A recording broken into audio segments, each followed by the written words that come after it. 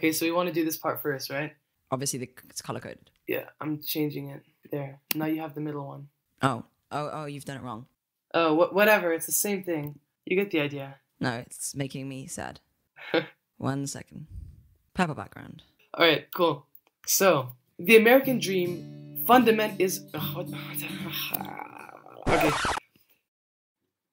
The American dream is fundamentally a belief in meritocracy. It's the idea that you can come from any social background and work your way to the top of the social ladder.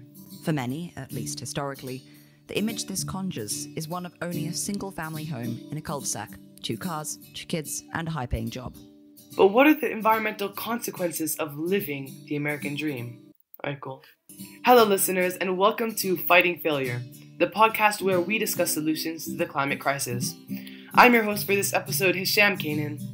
And I'm your co host, Oscar Archibald.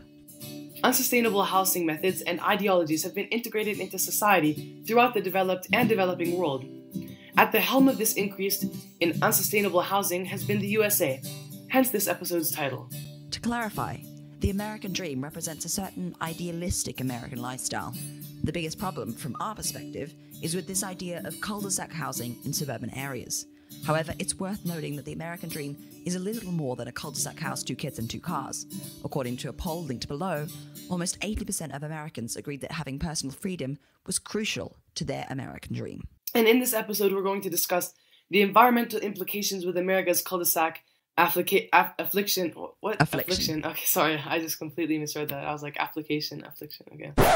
In this episode, we're going to discuss the environmental implications with America's cul de sac affliction and how we can fix them. Anything to add, Os? Uh, no, because this is scripted, right? Yeah. All right, so on to the problems. Article 25. Everyone has the right to a standard of living adequate for the health and well-being of himself and of his family, including food, clothing, housing, and medical care.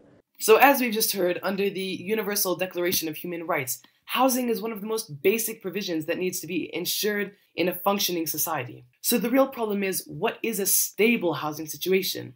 Cul de sac developers in the USA advertise cul de sac developments as safe, structured investments that reduce strain on urban centers, in particular through reduced traffic. To be clear, cul de sac is a French word meaning a passage closed on one side, so basically a dead end. Hence, cul de sac housing is generally when you have a system of driveways funneling into sprawling developments of single family housing. Anyway, the idea that cul de sacs could reduce the strain of population on traffic has actually been proved to be the opposite, as more people commute by car rather than walking, cycling, or using public transport. Moreover, the housing industry made this cul de sac housing layout seem more appealing to the public eye by marketing it as just that the typical American home. This increased normality and idealization of the idea of cul de sac developments. So, what's the actual problem with cul de sacs?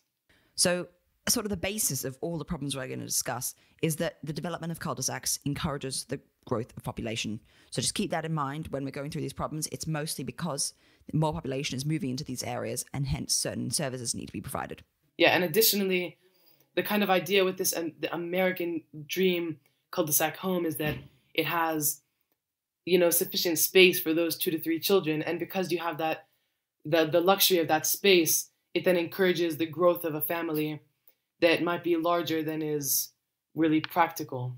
So, uh, as housing areas expand, more schools are required to educate the children in the new area. Uh, all across the developed world where education is provided free, you know, like in the USA, in the UK, you generally have this sort of segmentation geographically of like in the US, you call them school districts, districts. In the UK, catchment areas is generally the term, I think. So you'd have sort of a sort of central school, and the area around the school is uh, people that would go to that school if they uh, go in uh, public or state education. You know, as an Australian, we use the word public to mean a state-funded school, but then in the UK, the word public generally refers to uh, private schools, which is confusing.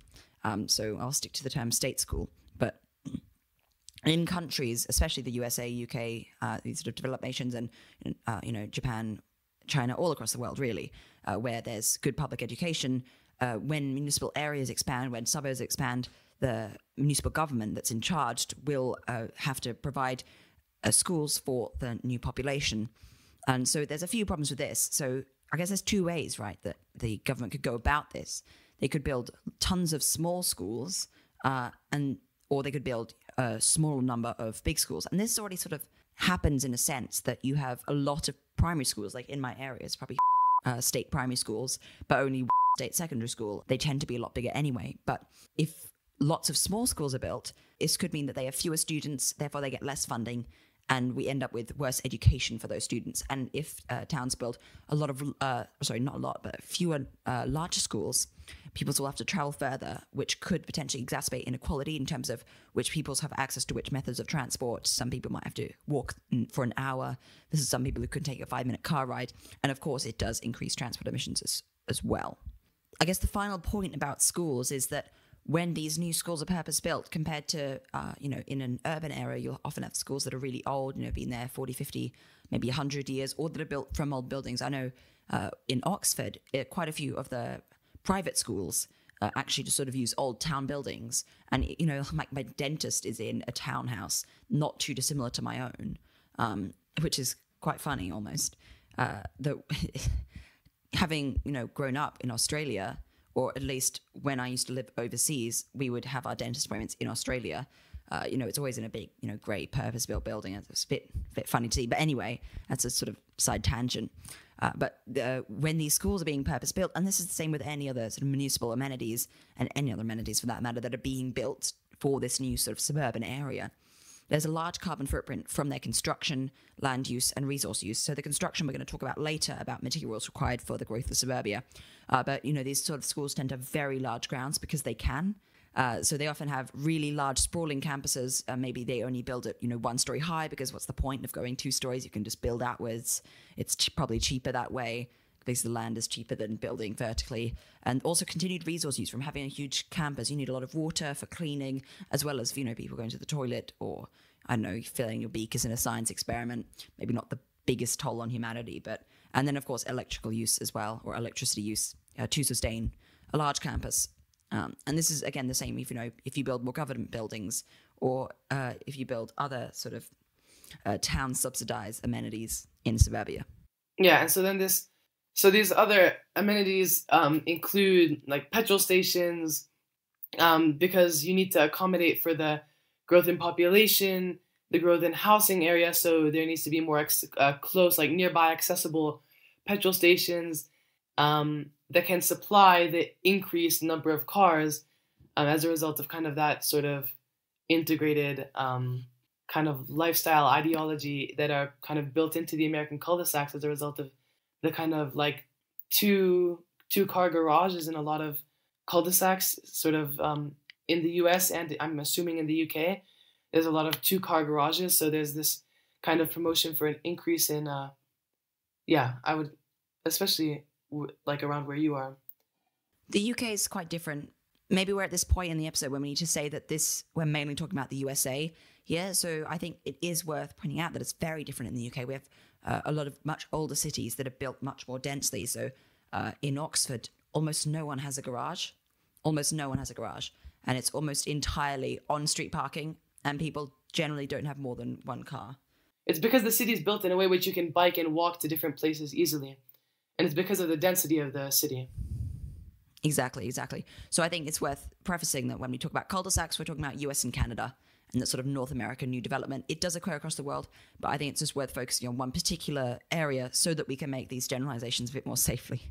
So anyway, um, then there's this increase in petrol stations, which then uh, there's more demand for petrol, obviously, and then that also puts more pressure on people to get cars because there's the availability of petrol stations nearby. So then it's like may as well have a car because you can easily fuel it etc. Uh, next is kind of small, like uh, well, not small. I'd say probably quite large. Well, you get you get a lot of like single stores and then a lot of these fortress malls, as Oscar's kind of put in the show notes, um, that need to accommodate for the fact that people, as kind of urban sprawling occurs, there's this need to accommodate for people need easily accessible food sources. People need easy, easy to easy to easily be able to go somewhere to get their haircut. Um, and then there's all these leisure things such as like getting your nails, places to get your nails done, places to buy clothes, etc. and so that needs to be easily accessible again. So then there's this encouragement for um, expansion in terms of like malls and grocery stores and other smaller stores. And a lot of these are built with um, and as kind of inaccessible by anything other than a car. You can't really bike to them. There's not bike racks, um, and the kind of entryway is it's. I mean, I've tried to bike into a into kind of a superstore in the U.S. and it's really hard because it's like on a huge road and then it's through a, this huge parking lot with ton of with tons of cars and so it's kind of it's hard to get in yeah surrounded by parking and so it's just it's kind of promoting again um, transport by car and encouraging this kind of consumeristic mindset of purchasing cheap gmo uh, non organic produce fast fashion and um, fast food and foods that might not be all too great for the environment such as burgers because of the beef obviously sushi because of the fish and the current implications of fishing anything to add to that Oz? Yeah, actually, there's a lot to add. There's a few different sections, perhaps, but I think the first one is about zoning, and this is going to be a really recurring topic in this episode. is about zoning in the US, and because of zoning, you have to have these sort of separate areas of a city. So you can't have a sort of uh, a strip. No, you can't have like a convenience store or a corner store in most places in the US because it's illegal because the whole area is designated as uh, single family housing. Uh, and that means that, in fact, while maybe these places are trying to be convenient, there's nothing really convenient about having to drive to the supermarket. It's actually really interesting to look at the shopping habits of different people in different countries. And if you live in a sort of cul de sac uh, suburban development in the US, you probably go shop- shopping once weekly or perhaps once fortnightly, you go to a big store like a Costco, Walmart, Whole Foods, one of those big chains. Honestly, I know nothing about US supermarkets, but you'll go in your car, you may sit in traffic lights. It's you know one hour, two hour journey. You pick up bulk food for the whole week uh, or the whole two weeks even. Yeah, I mean it could really take one hour, two hour. It's a traffic, but it's also you know you it's it's a fairly long time to take get all of your groceries. Whereas if you live in a really uh, dense walkable uh, or bikeable place like uh, a lot of places in the UK, and especially the Netherlands, is a great example of this. You can just pick up food for the next one, two, three days because you can just stop by at the store on your way home, which is not so achievable because of the way uh, American cities are zoned. Uh, so yeah, that's really interesting. Is that it's and it's really not that convenient actually to get to these places because you know you have to drive, you know, have to sit in traffic lights uh, because of bad street design as well, and then you you know go into your supermarket park and then you walk across the huge parking lot. Like I've done this before, not in the US but in Australia. You know, I, have done this sort of thing, and then you there's an absolutely ginormous store, and you're buying a lot of a lot of stuff to suit you for the next week or whatever, compared to just sort of almost buying things on a whim for how you feel like, uh, and you could be a, maybe a bit more in tune with you know buying better produce as well if you buy from you know local sellers or you know small chains or your greengrocers rather than from a huge Walmart Walmart or a big multinational conglomerate like Shoprite. Uh, um, I don't know if Costco is multinational, but it's absolutely huge, isn't it? Not multinational. It's a but I would if we're talking about the U.S. Multi-statal. I know. And I think the other thing I want to talk about is how having these sort of fortress malls, is, in a way, it really encourages a consumeristic mindset because you have these. Uh, it's because it takes so long to get there. It's it's a destination in and of itself to go shopping. Like, and you know that happens as well. You know, in Oxford we have this walkable mall called Westgate, um, in the city centre, and you know people go there after school and they'll walk through the thing, and it's actually quite quite nice and well designed. But uh, so it's not a problem exclusive to the US. It's worth noting, but um, it is it is a problem still. You know, like I remember in when I was in Melbourne, we'd go to this big mall called Chadstone once a year to get all our clothes for the year because there's not as much shopping available in Malawi. And one thing you'd do is you'd be there all day, and so you'd have to have lunch there and you'd go to a food court and I don't know how many sort of environmentally friendly meat-free vegan options they're offering as much as you might be getting burgers from Burger King or I remember definitely getting sushi um, which obviously you know as Hishu said as the unsustainably uh, stuff unsustainable fish associated with that. And if you have watched uh, Theo Ansell debunks veganism it doesn't have an episode number but we did that episode a, a couple months ago now. Uh, it was me and Theo Ansell debating. Uh, he loves to sort of fall back on rice being unsustainable or inhumane as, as a sort of way to deflect vegan arguments. So I just thought I'd note that on the sushi train in a sense. I would rather eat organic meat than uh, rice produced in countries where animals are being displaced to grow it, where workers are being abused to grow it, and where uh, there's ma- it's basically the meat industry, but for workers, and let's not also forget the fact that plants have feelings. There's a lot of this basically just to grow a ton of rice. The moral implications of eating rice. I guess the last thing to point out is, like I said, dense urban centers aren't immune to this sort of consumeristic mindset, but I think they do sort of go about it in a better way. Uh, in you know the Netherlands or in the UK, uh, you have uh, often you have pedestrianized high streets. So in Oxford, the high street itself, the, what's called the high street, is not pedestrianized. It is, however, uh, no cars are allowed. It's only uh, bikes and uh, buses. But there are actually very nearby, like I said, Westgate. There's also Cornmarket Queen Street. Uh, basic, uh, these fully pedestrianized streets. Um, and that means that it's you could sort of you know walk along the street at a slow pace, you know, go window shopping, and you, there's lots of these sort of smaller scale stores. And it also means like maybe this is a bit of a small point, but when you're buying things, you can only buy so much as you can carry. Um, so in that sense, you're sort of limited by what you're willing to carry as well. which can be a good thing as well, because then that kind of it demotiv- it demotivates kind of the idea of bulk shopping, because I mean, in in a place like the U.S. where you're, you know, going to the a mega store by commune um, in a in a like a motorized vehicle, such as a car, you have first of all huge trunk space, and pe- cars are increasing in kind of trunk space, um, and then you have the back seat, assuming you don't have like kids in the car and so you're able to bulk shop so you're able to buy a ton of stuff. And then it's also overwhelming. You go into the store there's so much stuff. You've it's like a huge it's like a long commune. You've gone you, you know it takes like an hour maybe in the store to get everything you need if you're bulk shopping. You've driven there whatever maybe it's 30 minutes away you've driven there you're in the store for an hour. And then you're like well i may as well just buy all this stuff and just throw it in my huge car which I, I guess it's a good thing then if you're if you're you know if you're commuting by by bicycle or by by foot i guess if you're if you're walking to the store it can be better in terms of kind of demotivating the public from from bulk shopping because it's it's much harder to do so Yeah, 100%.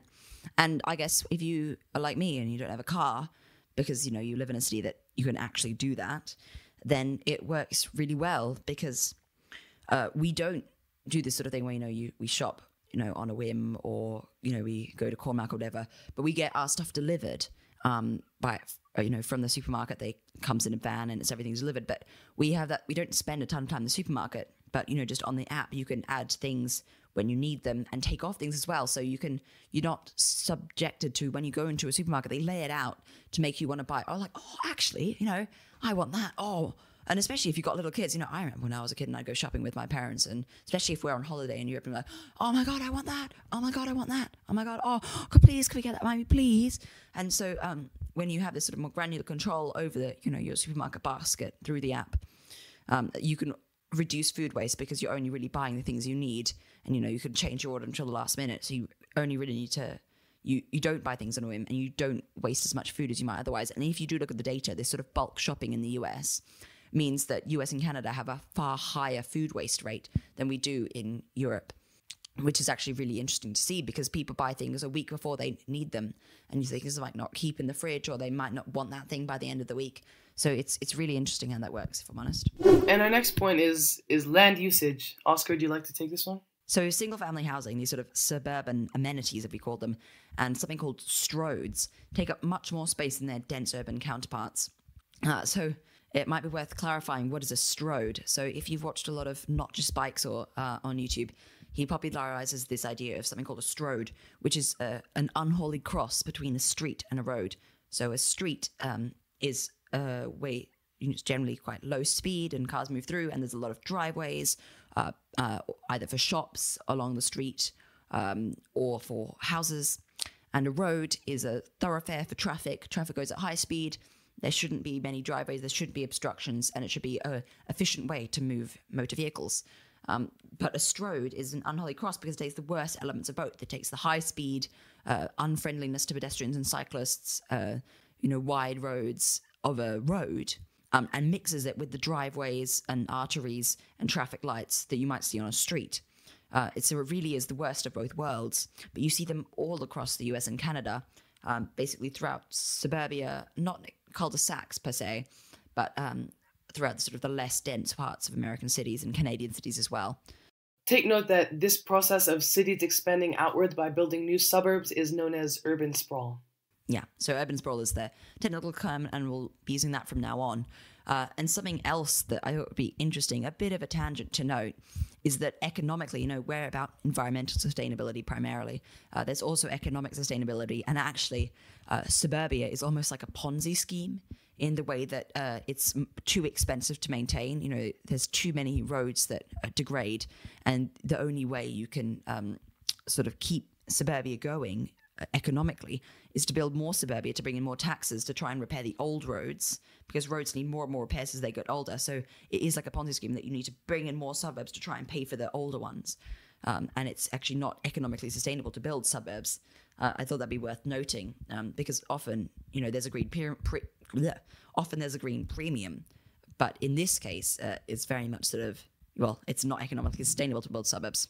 Yeah, and often as as the urban sprawl occurs, so as these new developments are built um, outwards from that urban area, um, these new developments are often encroaching on natural habitats and kind of forcing wildlife away. And this is a big problem throughout the US. I mean, Europe, this is a huge problem, but Europe's pretty much past that stage because Europe's already built so many cities that there's not really much in nature to encroach on at this point. Um, because really, as you build cities, you're reducing natural area because you're taking up more land to kind of put into an urban setting. And so as this land expands, you're having to reduce the tree line outside the city or encroach on whatever surrounding fields you uh, you know might be around the city and so whatever natural habitats just outside your city line as these uh, kind of suburbia is, is expanding what you're doing is you're encroaching on that habitat so you're um, you're affecting um, kind of bigger wildlife such as you know, if you're in the US, like deer, coyotes, foxes are um, commonly affected by urban sprawl.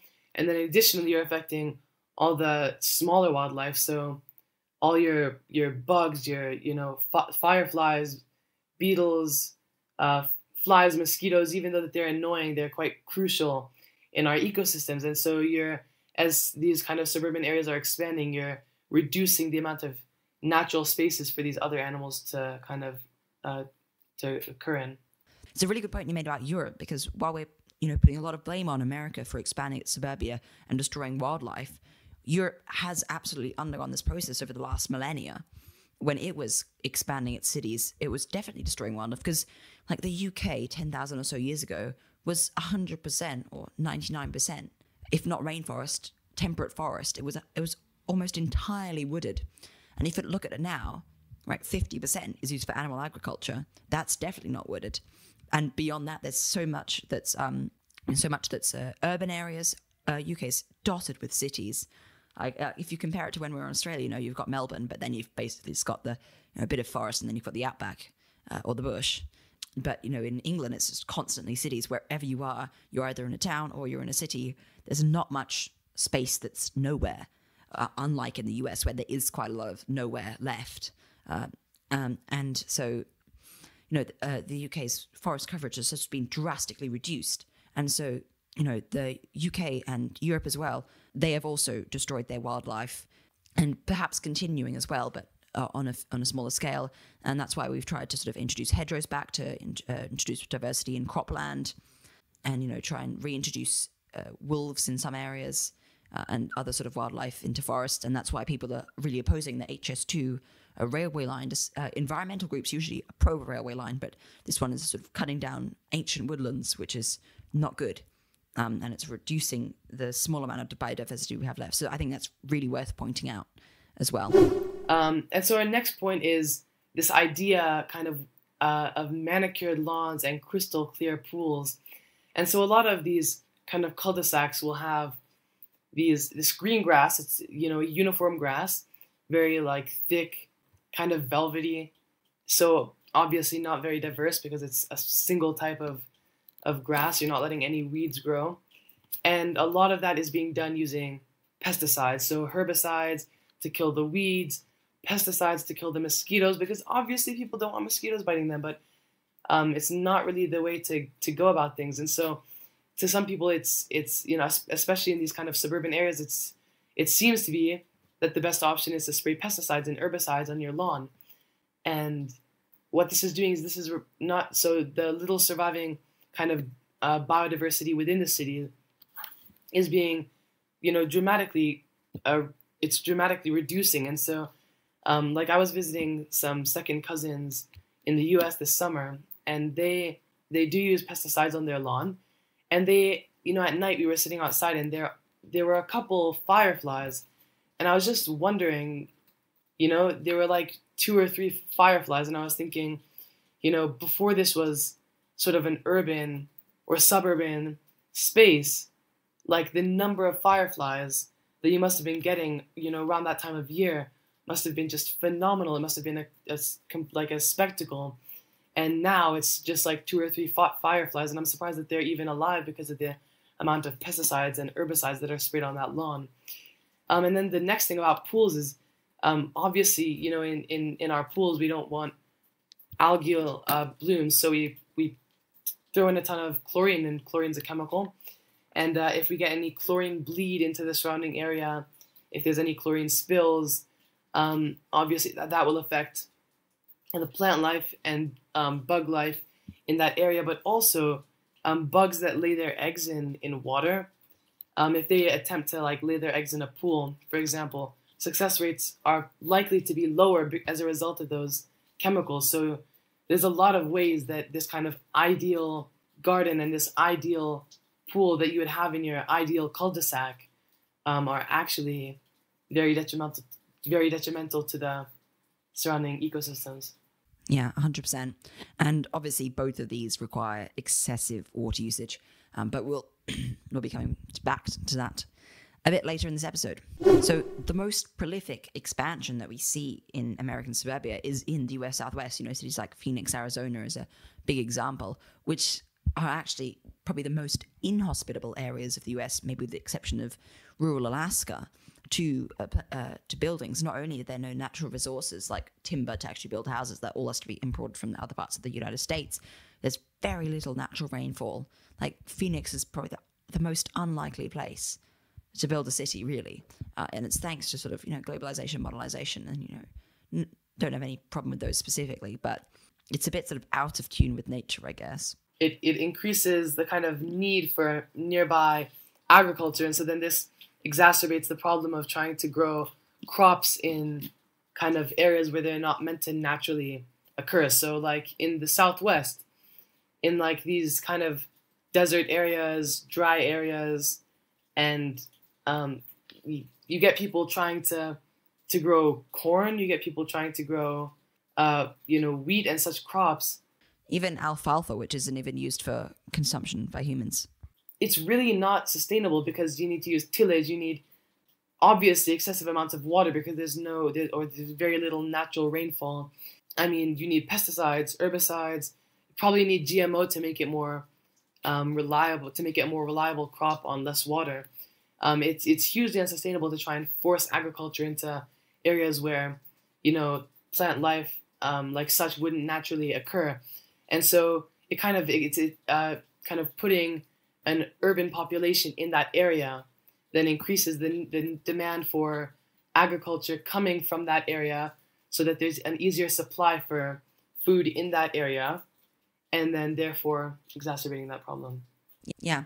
So the Colorado River is a really good example of this, uh, where there's sort of a big skirmish in a sense um, over the dwindling supply of water from said river between uh, farmers who sort of have this claim of prior appropriation that they were there first, they claimed the water first in sort of that style of the American West of, you know, you claim it first and you're putting it to good use, you get it first.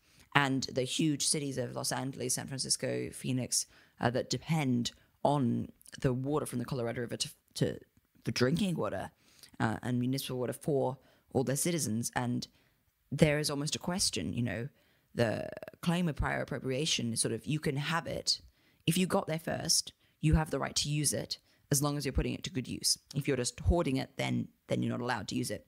And there's almost coming to the point where it's a reckoning. Is it is farming in the southwest a good use of the water?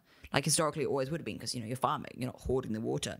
But considering the sort of the way it is now, there is almost a question about that. Yeah, and might I add that kind of the West um, Americas are in the worst drought that we've seen. In, it's something like, what, do you, do you know the exact statistic? It's like 100 years or, it's ridiculous. We're having this crazy, probably ever, it's the, this crazy, yeah, it's, it's, it's 100% um, climate change driven drought, and it's likely, um, the statistics say that it's likely to last until 2030. And so then having urban areas expanding in places like the Southwest, like Arizona, uh, in, you know in in you know that kind of desert area, and increasing that strain and that need for um, agriculture coming from that area is hugely unsustainable because you need increased water. You're probably going to get less yield, and you're going to need obviously you're going to need tillage, and you're going to need um, even probably you're going to need GMO 100% to grow in that area. And so it's just it's you know this whole the the you know climate change crisis is kind of um, making that whole idea of of settling in these kind of inhospitable, otherwise inhospitable, otherwise settling in these otherwise inhospitable areas even less ideal. While any sort of urban development will require more electricity because you know people are using lights and computers and Wi-Fi, whatever, um, suburban homes and especially single-family detached housing is probably the worst offender because you know they're exposed on five out of six sides if they're if if they're a cube. Uh, and this means that they lose heat, whether that's powered by a fuel oil, gas is probably the most likely, or electric resistance heating. They're going to be losing heat on all of their sides. They have very little insulation. Uh, and they also tend to be much larger than, uh, you know, a big single family home is much bigger than a small apartment in New York. Uh, so they need much more coverage from light. Uh, you know, you'll have more lights across the house and you'll have you know, more heating across the house as well. So, and it's worth noting that suburbia is worse in terms of its electricity and other energy consumption compared to the same number of people living in a dense urban area. And finally, the materials used to build uh, such houses can be hugely detrimental, especially if they're these sort of quick built houses in urban areas. So, probably the biggest offending material here is concrete. Um, it is one of the most widely used substances on the planet. And according to The Guardian, if the cement industry were a country, it would be the third largest carbon dioxide emitter in the world, with up to 2.8 billion tons of CO2 equivalent, surpassed only by China and the United States. News organizations love this if X were a country coverage. You know, it's if food waste were a coverage or if steel were a co- co- not coverage, but a country. It's it's quite funny, but anyway. And then the second quote from the Guardian is taking in all stages of production, concrete is said to be responsible for 4 to 8% of the world's carbon dioxide pollution. So to expand, um, wind-blown concrete residue has also been known to cause respiratory d- diseases such as silicosis. And so, um, keeping that in mind, um, another quote from The Guardian in a single year, there's enough to patio over every hill, dale, nook, and cranny in, in England. Uh, enough concrete, that is. And so, if you think about the amount of concrete being put out, the amount of concrete being laid down to build houses, to build infrastructure, to expand our cities, the first of all, the air pollution from that is ridiculous in terms of health. And then B, think about the amount of CO2 put out by the production process and by the, you know, kind of um, environmental implications of laying down the concrete and limiting grass coverage, forest coverage, etc. Um, concrete is a huge problem and huge ecosystem destructor. And then, secondly, a lot of these faux wood planks, such as hardywood, that are so commonly used in modern housing are also made of conc- concrete, even though it might not seem like it. And I've seen these, I only found this out when making the show notes to this episode actually, because there's these faux wood um, slabs around my grandma's development in the USA. Um, you see them everywhere, and I never knew. I just thought that they were plastic, which you know obviously isn't much better, but um, they're concrete, and for obvious reasons, you know, as as we've kind of stated, you know, a minute ago, that's not you know a great thing to just increase increase concrete uh, consumption by putting it in what we build our houses um, out of. Oscar, would you like to? Yeah, and another big culprit, perhaps not in suburbia, but maybe this is actually more for dense urban areas or high rise buildings. Steel is also hugely carbon intensive in its production. And lastly, ecosystem destruction has become an increasing problem surrounding the extraction of clay and stone necessary to make bricks and other building materials. You know, also if you're using timber that's not being sourced from a plantation, as instead being cutting down wild forest, that's also a big problem. Or if the uh, plantation is not being sustainably managed, um, that again, timber is not.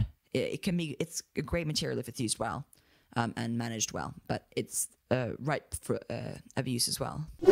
So, all of these problems we've been discussing, there's sort of a foundation problem, maybe made of concrete. I don't know that exists that sort of underlines all of these, and it's sort of a two-part problem. It's population increase uh, and urbanization, uh, which is the movement of people from rural to urban areas all of suburbia is sort of fueled because people are either moving, for, sort of three ways, I guess. People are moving from the city centre to the suburbs, moving from rural areas to the suburbs, or people in the suburbs are having more children. We sort of discussed this at the very start as well. And so that none of these problems would exist if that were, wasn't a problem. But that's not necessarily a solution either uh, to try and mitigate those based problems, we have to mitigate the effects. And a lot of the environmental effects of these problems comes down to rules in North America, specifically building codes and zoning laws. Uh, and these are sort of the rules that, especially zoning laws, that mean that we can only build certain houses in certain areas. Specifically, that most of the United States is zoned specifically for single family residential zoning, uh, which means that you have to build. Um, oh, you can only build a house for one family, so it's a detached house uh, and there's also generally rules about how much parking you have to have, parking minimums, which is another topic in and of itself. And you have to have a certain amount of garden or a certain lot size or a certain lot percentage uh, when these new developments are being made. So, uh, zoning laws and building codes make up a huge part of the problem of why the effect of this population increase in this move to suburbia is so devastating for the environment. Uh, and the second sort of part of the real problem underlying this is there is a social stigma in the US against multifamily housing.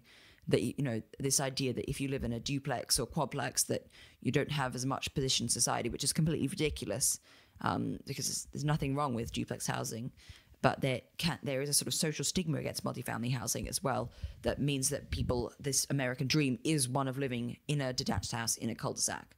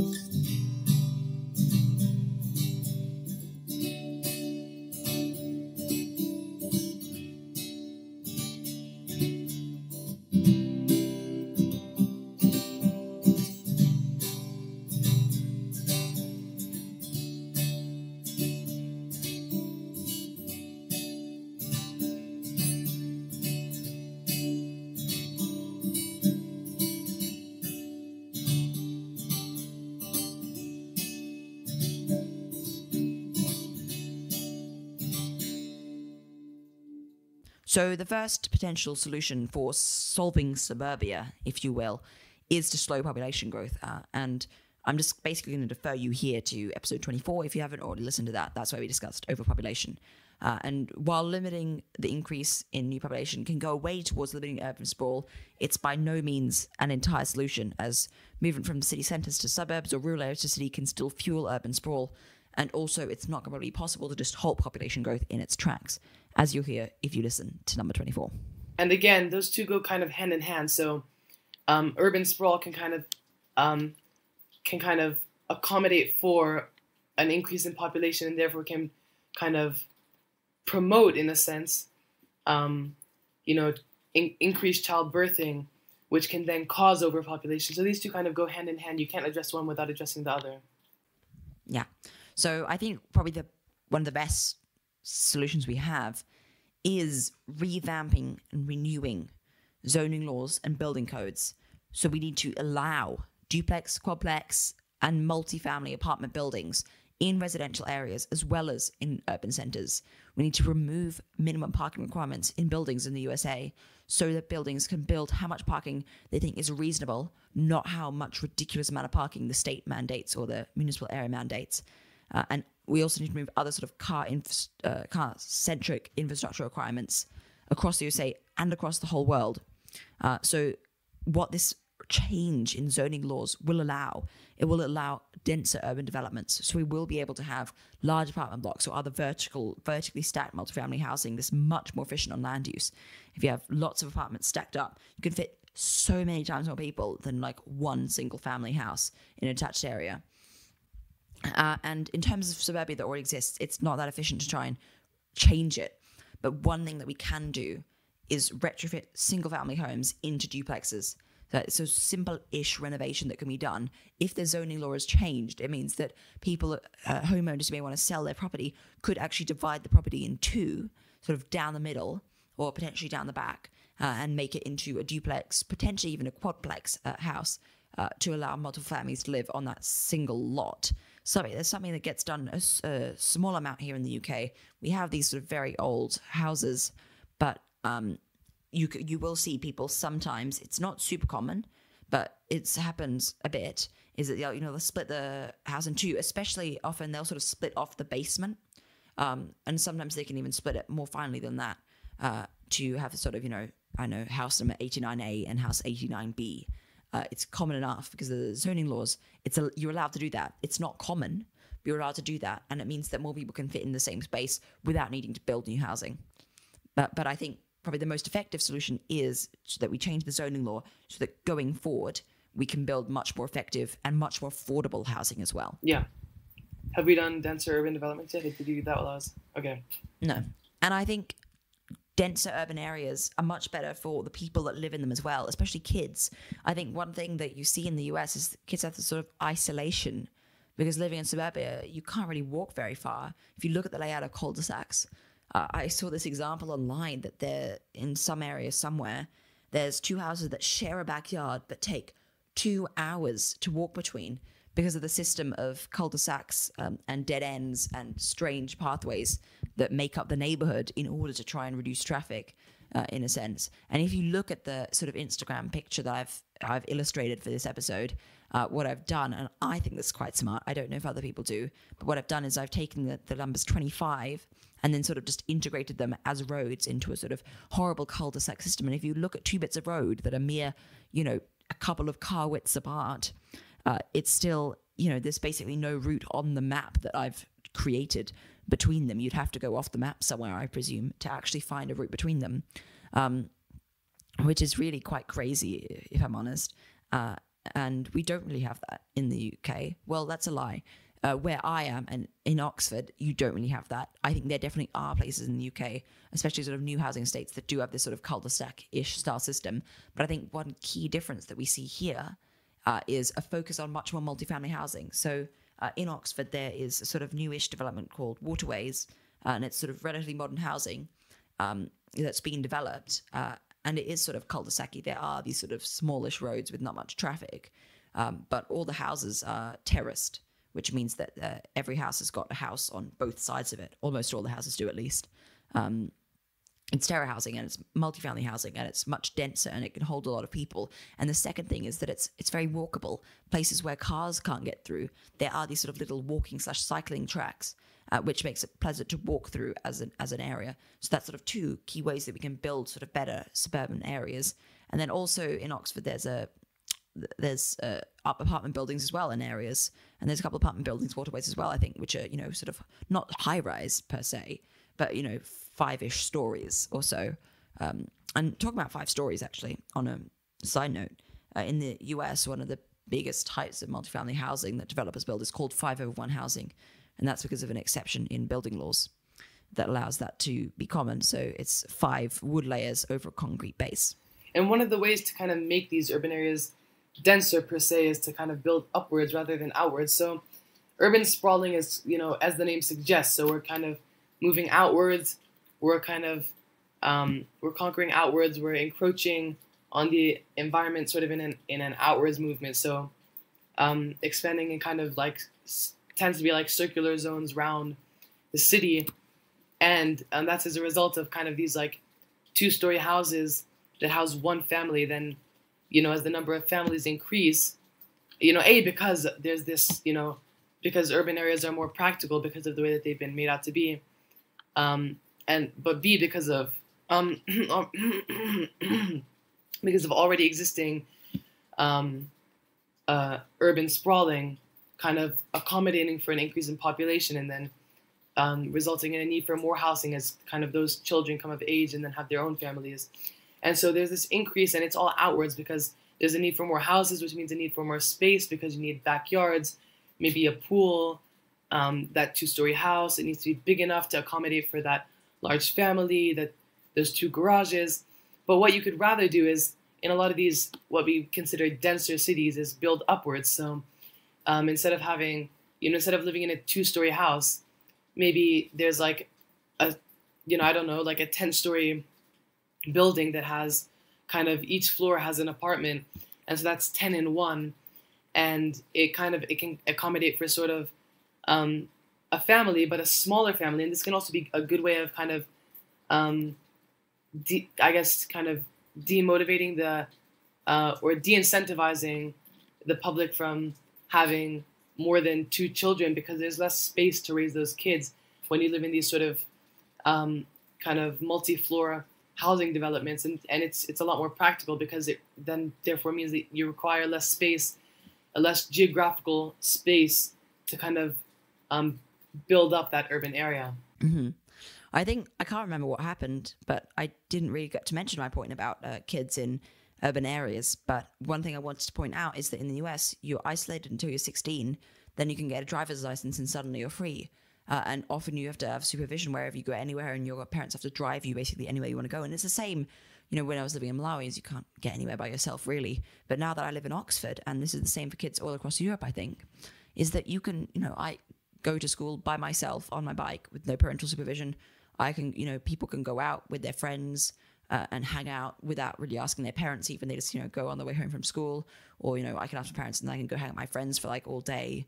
I, I can just walk there. I can I can take my bike, uh, and you know, we could just you can just. I remember when we first moved here, we we were frequent users of the playground in the park near us, and we would just you know hop over there and we just play with no parental supervision and that independence that you can have without needing to drive is really really good i think it's just it's really empowering for kids uh, and adults alike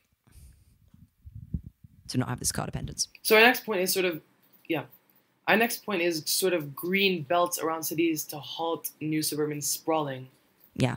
So this is a tactic that's been used uh, heavily in the UK since the war, um, which was basically just introduce these thing called green belts around all the major cities.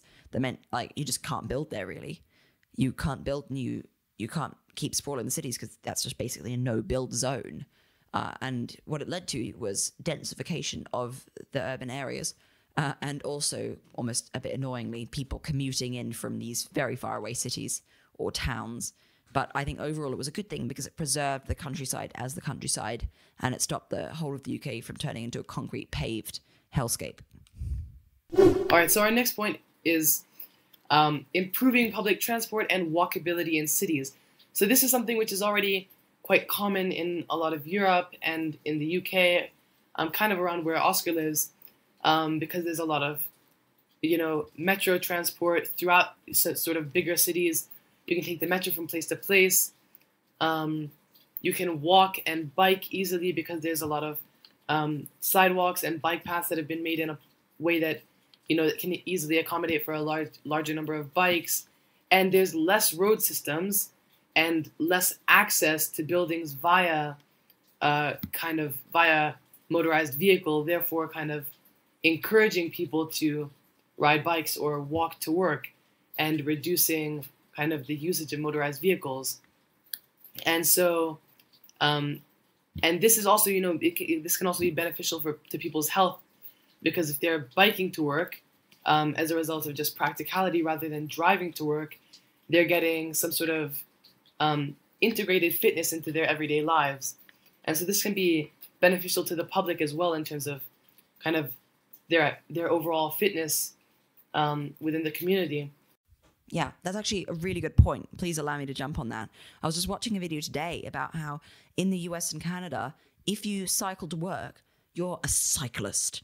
And it's a sort of special segment of society almost that's been that's been invented by people who, who commute in cars because there's so little cycle infrastructure. You have to be pretty hardy to to be a cyclist, and there's, there's very much a stereotype about it. These people are cyclists, whereas in uh, the UK and in Europe, especially in cycling friendly cities, it's completely normal for people who aren't cyclists and aren't cycle mad to cycle because it's the convenient way, and that's really almost a landmark of a really of a good city in terms of transport and, and walkability and good urban design is if people who cycle people choose cycle work out of convenience without being hardcore cyclists that's a really good sign i think. But anyway continue with what you were saying before. And so in the us kind of there's this this kind of large scale lack in this infrastructure. So um, i don't know if you've like been to new york boston um, chicago there's some limited yeah i've never been to the us but... yeah i mean i don't know if the, the listeners have um, I mean, we can look at the statistics. It's about 25% US listeners, I think. Yeah. Anyway, so a lot of these um, these cities they have some sort of limited um, metro transport kind of throughout the city, but it's, it's sort of stigmatized, um, and also because you know there's that availability for um, the usage of cars, people often prefer that if it's um, if you know it's feasible for them if they can afford it. And so metros aren't widely used in the U.S. as a method of like public transport to limit, um, you know, single owner motorized vehicles. And additionally, kind of the fact that you can get um, licensed at the age of 16 in the U.S. kind of pushes for that because then you're kind of easy, you're easily able to get around. And so then why not, you know, why not get another car or why not kind of give the 16 year old the old car and get the family a new car. And so it's just um, kind of adding to the strain of this kind of like overusage of uh, motorized vehicles. And then we also don't really have, I mean, a, a, lot of US cities. I know in Vermont we have one or two, but we don't have a lot of public buses available. We don't, um, taxis are very hard to access. I mean, you do have taxis around, but they're very expensive and they're very busy um, Uber in the US has become very impractical because it, you have to wait so long. There's not enough Uber drivers. So like all these kind of like yeah, and there's a whole yeah. social problem about yeah, that as well.